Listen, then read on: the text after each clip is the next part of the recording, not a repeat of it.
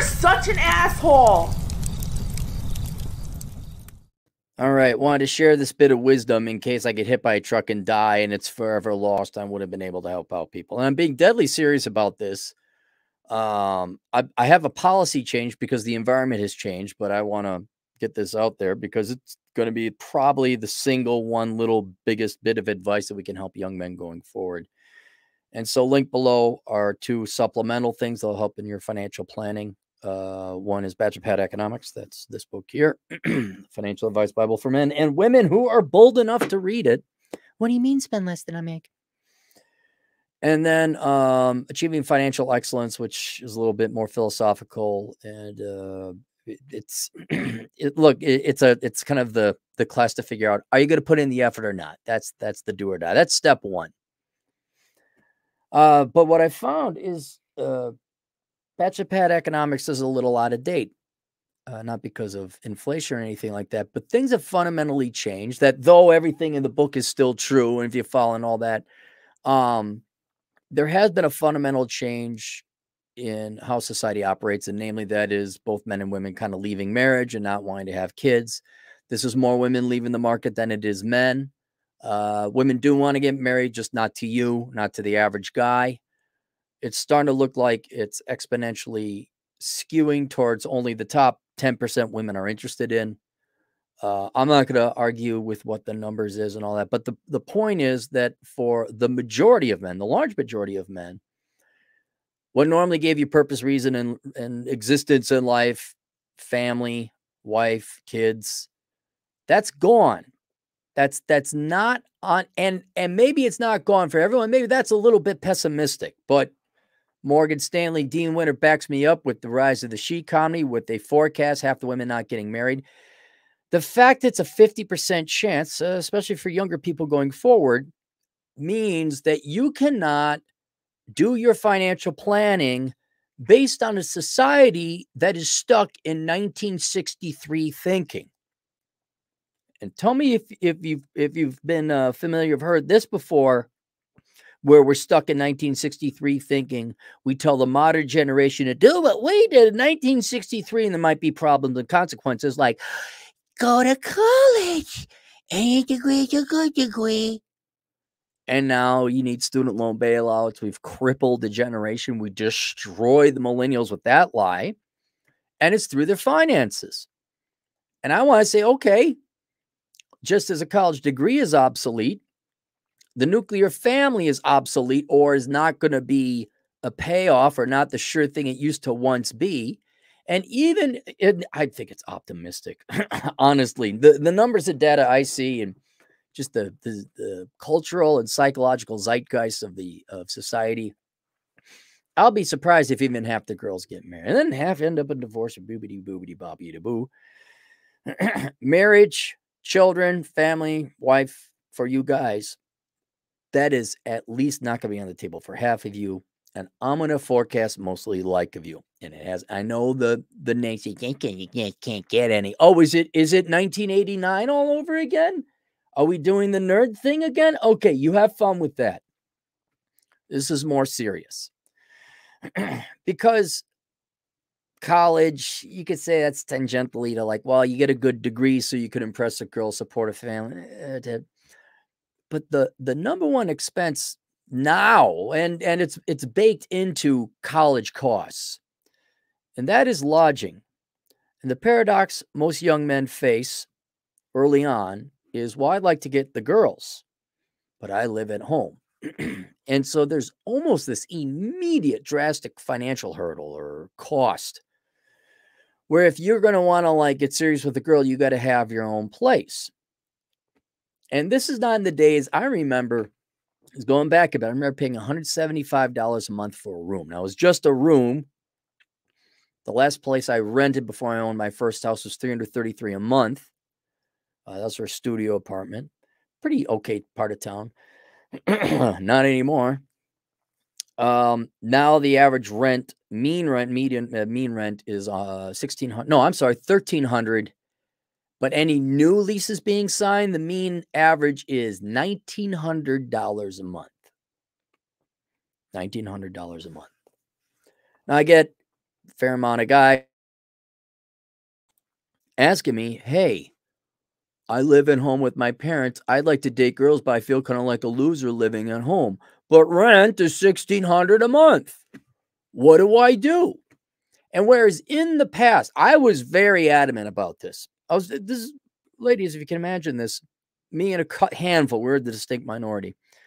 I was like, you either are paying your own rent, supporting yourself in all manners of way, you're not a real man, you're not a real adult even in my day, back in the day, oh, the Gen Xers would get some kind of help out from mom and dad. Fine, they might pay rent, they might be working for mom and dad will help you with a new car. Oh, don't worry, we'll pay for your tuition. Well, as long as you're in college, we'll pay for everything else. Meanwhile, I'm starving. I love the good these girls over there. Well, why can't you go out? Look, bitch, is your is your parents from the burbs going to give me the freaking money that they give you? Then I can go out. Then we could go to nice places. But you know what? Here, here's my here's my check statement. Here, you can look at my bank account. You will be able to track to the penny where everything went.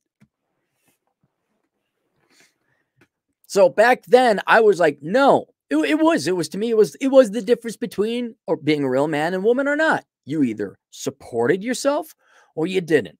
and I was very economic literal, where I said, I, I don't care if you have your own place. If your parents are subsidizing you, you don't have your own place. But obviously, if you physically lived with your parents, uh, then people would know. I never differentiated, but uh, a girl would definitely know if you were living with your parents. And it, even then, it would bring great shame, perhaps not as much as it does now. But I was, that was like the hurdle for me. You didn't have to go to college. You didn't have to make lots of money. You didn't need an advanced degree. You didn't need to work 60 hours a week. But you did have to support and eh, have your own place and support yourself.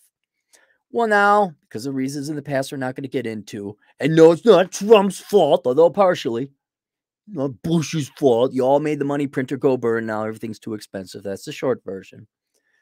Now I look at it and it's like, wow, lodging is really expensive.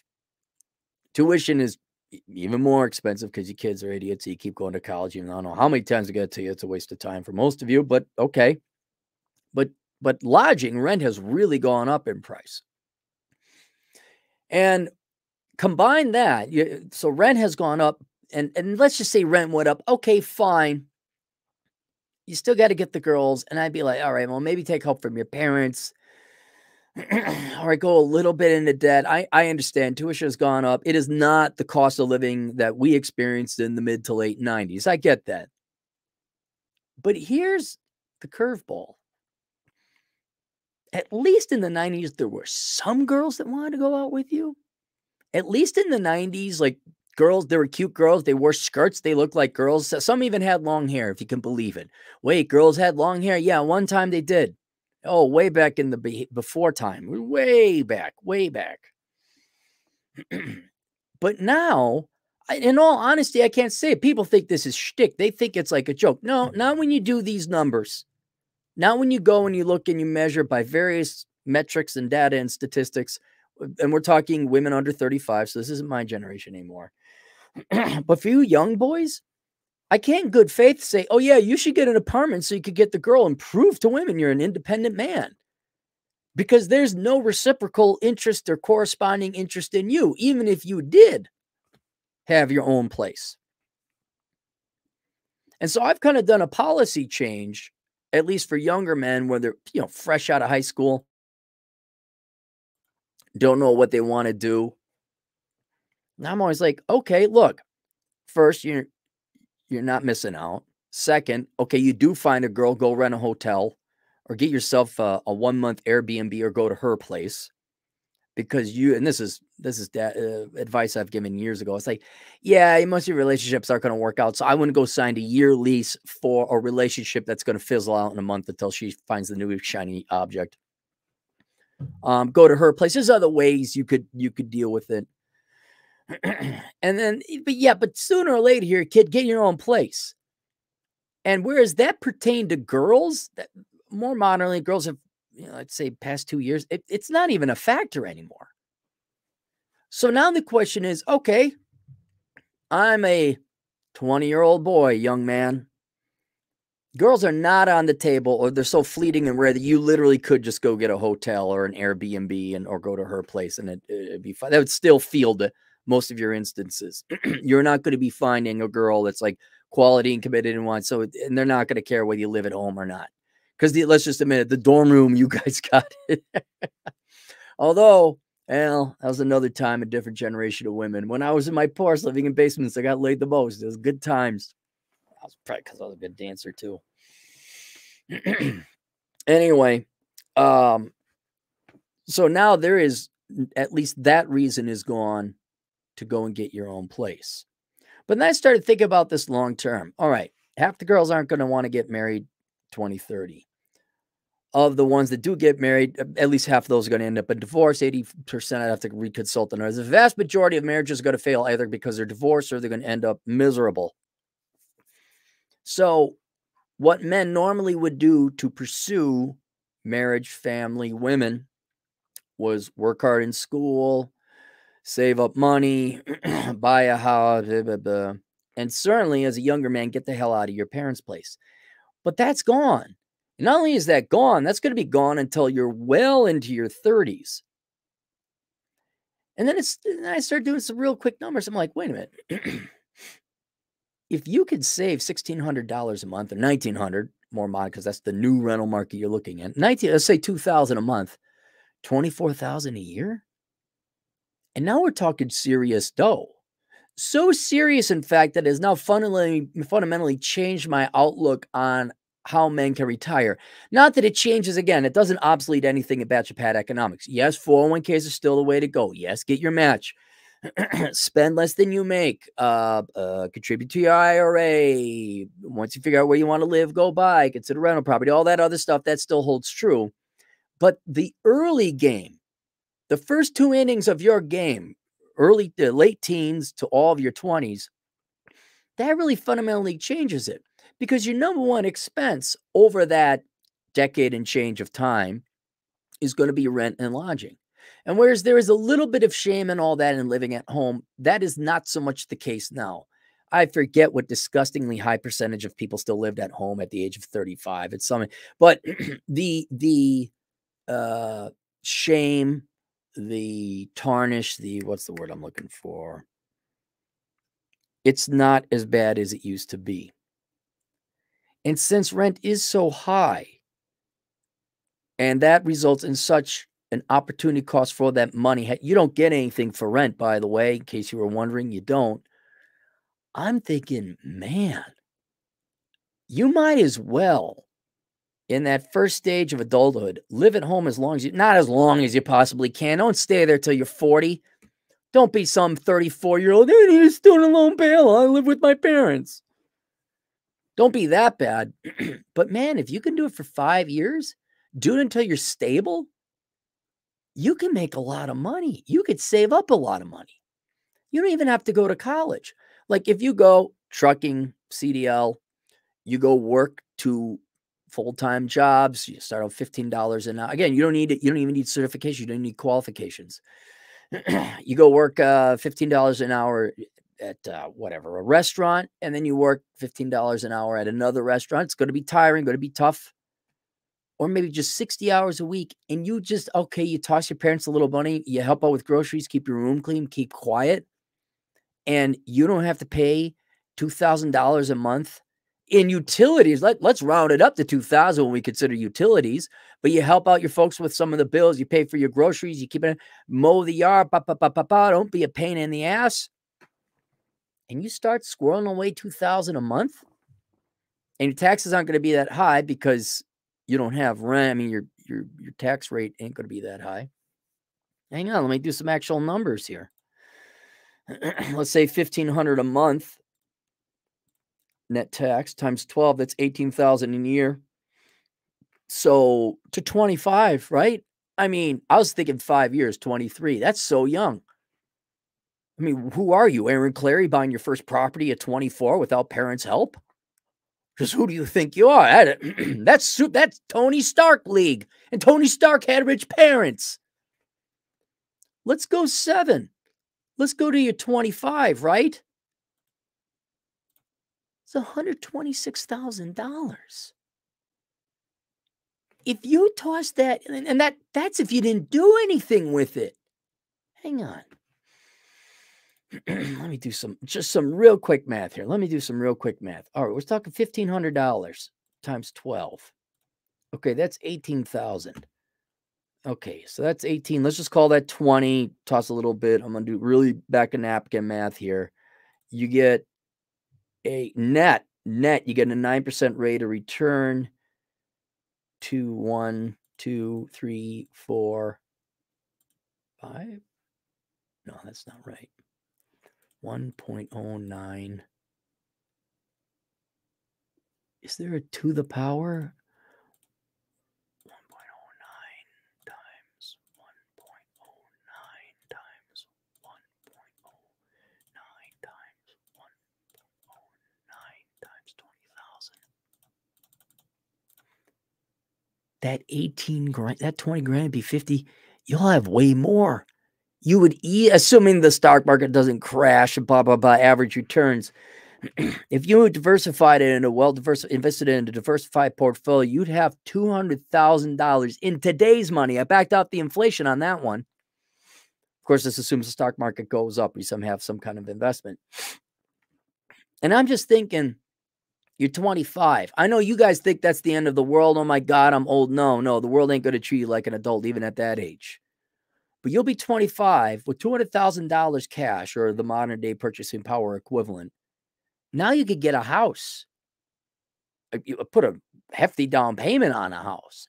Now you could now you're squirt you're save for retirement. You're you're done. In seven years, if you take that 200,000 at the age of 25, you toss it into a retirement fund. Hang on, let me do it. Let me do it. I, I know, I just know by the math.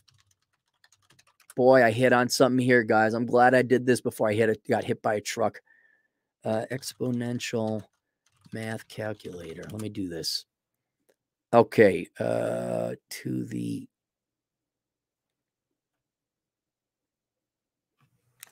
why can't it just all right. Let's do 1.09 you're 25 40 years until you retire to the 40th 31 so you have, okay, you have 200,000 times 31, $6.2 million by the time you retire. And and that isn't like you got to contribute to your 401k or IRA like all the like you do that. You do that. and parents if you're kind enough to let your kid live at home, if you kids just live at home work two part time, put two jobs, all right, or just six hours, and you save, you squirrel away $1,500 a month that you would have spent on rent, net of tax, into an average returning fund. By the time you're 25, you have 200,000. And by the time you, and then you stop, there's no more contributing. Now you ought to just, just out of good habit and all that. You don't throw any more money into the, into your retirement fund or your stock portfolio or whatever you'll have 6.2 million by the time you're 65 for, adjusted for inflation your retirement is done you're done you're not even 30 and you're on track to being a real no joke millionaire you're done and the only thing the only thing you have to do is not fall for the for it's not even a trick or the canard but the obsoleted advice, the outdated advice that, well, you got to get your own place to impress the girls. Do you see what girls are costing you? Do you, do you, you, early retirement is what they're costing, a luxurious retirement is what they're costing you. And at least back in the day, yeah, there was the you know, there was a time, man, I was banging them out about one a month. That still ain't worth 1500 bucks. You can get one a month for $500 a month. And so nowadays, especially with rent prices being what they are, moving out of your house is a horrifically uh, inefficient way to pursue girls. It is a tremendous waste of money. And whereas back in the day, right, when when a crappy studio one bedroom or whatever was like three to five hundred dollars, okay. Yeah, you could afford your own place, even adjusted for inflation. Now, no. No. And so I'm changing my policy and I'm declaring that there's a new route to retirement for men. Uh, uh, women, too, if you wanted to save your money. I mean, it, math is the same for both men and women. It's just you girls don't want to listen. You want your Chanel handbags for 5,000 bucks. Okay, have fun with that.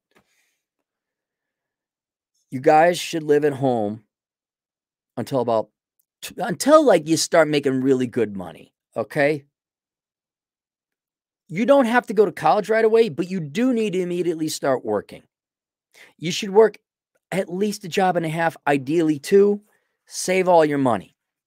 Help out your mom, help out your dad, help out with the groceries, and, and ask her, hey, show them this video, show it. Like, hey, mom, dad, your son won't be coming to live back at home with you at 42. Okay. Like some generation we know.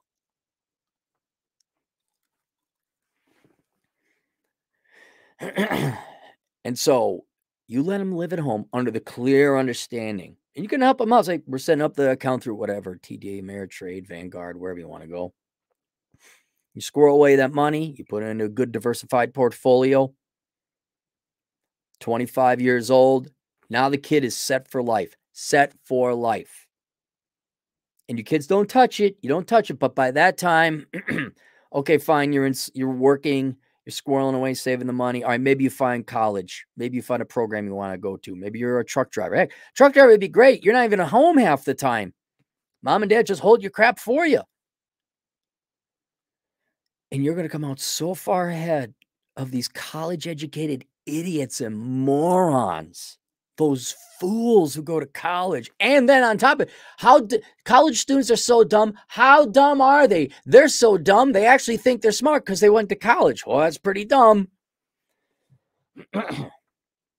And because of this because rent is like so expensive you just stay at home you, you squirrel away the money we now have made lemonade out of lemons. There is a huge opportunity a new retirement plan. This is the easiest retirement plan I could possibly think of. And it kind of like, I bet I didn't think about it. I'm like, I will come out and create the newest, greatest retirement plan. And then lightning stroke, a struck, and I held a beaker up and then I laughed maniacally. It wasn't that. I didn't create it in the lab. I just realized, like, holy crap, that's a lot of money. The only reason you would do that is to get the girls. The girls really don't want anything to do with the average guy. And you guys shouldn't have your own. It's like, this is a no brainer. This is a slam dunk. Oh, and coincidentally, you could be like that guy. That's a picture from the old days in Kansas, I guess. Some young bachelor hanging out with his two dogs on his patio in his house. You could be a 30 year old dude with a house that's probably halfway paid off, chilling out, doing your thing. And you know what? With if you're that financially stable, you don't tell girls you get the money. But if you're that financially stable, you got a house, like going in the future, the guy owns his own home. Girls are going to notice that. You're like, oh, wait, you own your own home? And long term, I don't think this will impair your ability to get the girls in part because they didn't want you to begin with anyway. But if they are going to want you, home ownership is kind of rare now, isn't it, ladies? Yeah, if a guy says he owns his own home, do your do your ears perk up? Not because you're financially greedy or anything like that, but it shows a little bit of responsibility. And I think every guy in the comments section will tell you who's older. Man, did me and, and my peer group and every other guy in the past piss away their time and money in their teens and 20s chasing girls. You're not missing anything. You're really not. Yes, you might have the rare success. You still will have the rare success if you occasionally ask a girl out. and she says, Well, what are you doing? I live at home with my parents. All right. So instead of the relationship lasting two months, it lasted a month it wasn't going to last that long anyway. But instead of like dumb schmucks like us who pissed away all of our money on rent, not to mention going out and parking fees and all that other stuff, you you just stayed at home, put your nose to the grind, squirreled away your money, didn't pay egregious amounts of rent, and now you're set for retirement by the age of 25. And then then that's about the time you should start looking for a girl anyway. I'm not saying don't ask out girls or anything like that. Obviously not. I mean, if there's a girl, you might like a girl. You know, you, she might like you. But it's not until you're 25 are you like even starting to come on the radar of girls in terms of something more than maybe short term. What, what maybe you just want to be short term, which then you shouldn't definitely get a you shouldn't get a, an apartment if it's all going to be short term. But 25, I was like, yeah, you're in the market for a house. But I, I, I was just more compelled. So there's the new retirement plan. It's something everybody can do. Dad, mom, watch this guy's video. No, the girls are. Oh, by the way, mom, I know you think women are just the most amazing thing. Well, we were like that when we were girls. Yeah, that was 1978. Okay, things a little different now. I, hey, you want to help out your son or your daughter? You want so they they leave at 25 and they never come, and then but they love you a lot because you actually helped them out by not charging them rent, but you made sure they put that money into a four, and not 401k, and uh, an index investing fund there you go. Support them on this. And then at 25, they go away. Maybe they have a nice little house of their own, buy some property or real estate, build on it later. And they're millionaires by 40. I don't know. You want that for your kids? But you, uh, you got to go to college. You have to pick a degree. It's going to be a miserable failure if you don't go to college. Yeah, you parents need a swift kick in the ass, and you parents should probably get this book, "Worthless: The Young Person's Indispensable Guide to Choosing the Right Major." Sadly, the parents need to read this more than the kids do nowadays. Had another guy where the parents like are forcing me to go to college. Are they forcing you? Oh. So you are financially dependent upon them. They pay for things. That means you can pay me more. I do like adjust the price based on like, you know, ah, this guy's destitute. He needs my help. All right, we'll, we'll lower the price. Uh, my I'm 27 and my parents won't let me take the car out. That'll be a thousand dollars, please. Why so expensive? Because you're not ultimately the one who's going to be paying this. So there you go. Uh, as always with all my advice, it helps out to get it younger than than than later. If you kindly would share this with young people, link below is Bachelor Pad Economics. That's a great book for everyone to read and learn about because that'll help you manage your finances real good and you won't be some 38 year old i need some money i need a bailout and mom dad i want to live at home my career as an internet influencer didn't pay off, Dad. Do you want that? Or do you want Cappy's retirement plan where everyone gets the F out of house by 25 and never comes back and is a millionaire by 40? Look at the math. So Bachelor Pad Economics, that's linked below. In achieving finance financial excellence, that is more of a philosophical approach to finance, money, wealth, and I would say contentment and happiness. Pad Economics is like you, you do X, Y, and Z. Achieving financial excellence asks the question, why are we achieving and doing X, Y, and Z? And you're like, oh, that's why we do X, Y, and Z. So instead of mindlessly doing X, Y, and Z, I know why we do it. So therefore, I'm much more likely to do it. And so, yeah, I know I should probably pay off my student loan debt, but YOLO, am I right? Herkaderkader, I are college student, 35 years old, living at home, need student loan bail, but YOLO, right? Do you have a liberal arts degree? How you know? Because you're a moron. I are offended. Get him, society. Not saying who that is. Not saying who that is. All right, let's go to the super chats. Today's donations or tonight's donations will go to my poker game I'm buying into. 20 big ones. Mm-hmm.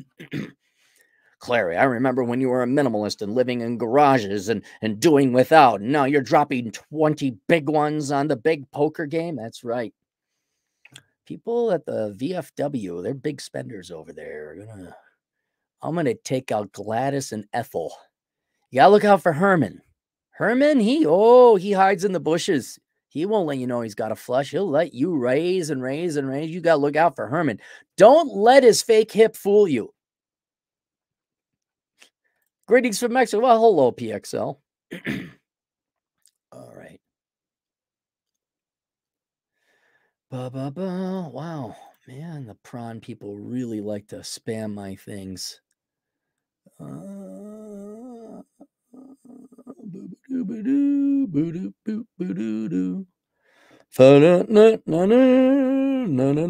Maybe I don't have any super chats.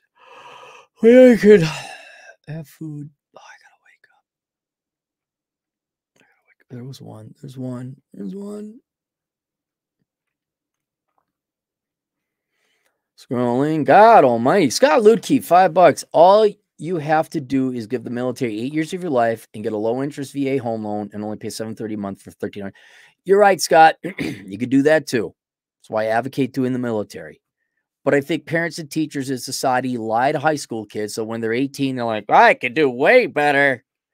They gave me the Dr. Seuss book called "Oh, the Places You Will Go." Like co- totally. And in two two years, I'll be interning, making 100k a year as as a peace activist.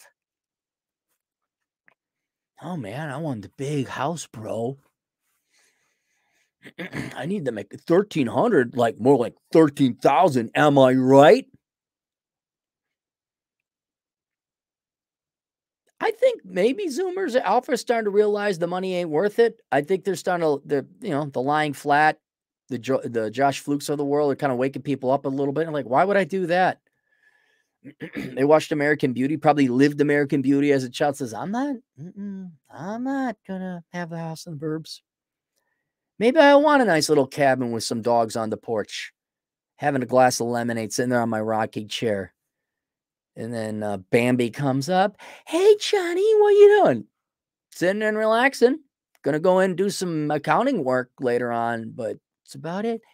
Yeah, well, um, I made you some pie. Isn't that nice? You made me pie. Is that your kid in the car over there from the other guy? He, he's in prison. Oh, how interesting. Thanks for the pie, Bambi. Bye.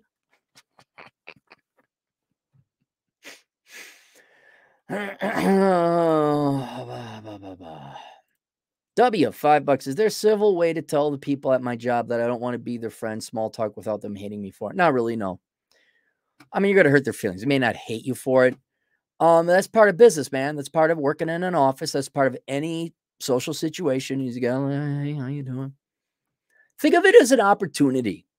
All right. Uh, I it's not a great book, but go get How to Win Friends and Influence People. Not that you want to win friends and influence people, but to understand people's psychology like how sad and pathetic most people are and they're only about themselves and they only want to talk about themselves and if you understand that in their minds only they exist and it's not even about the empirical reality of hey we're at job let's get some production done and all make some money and go home uh, there's a human component and it's more important than the reality component and if you placate the human delusional moron component everyone loves you and you're a great leader like yeah but you're popular, but the company went out of business, but at least you're popular. so, yeah, just look at it as an experience, as an opportunity to practice, like, you know, see if you couldn't get people on your side.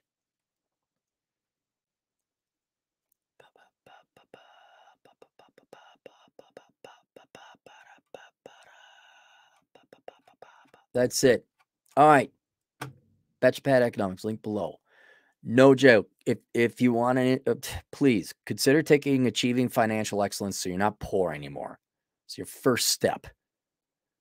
Uh, and that's it. And parents, please consider letting your kids live at home until 25. See you guys later, Toodles.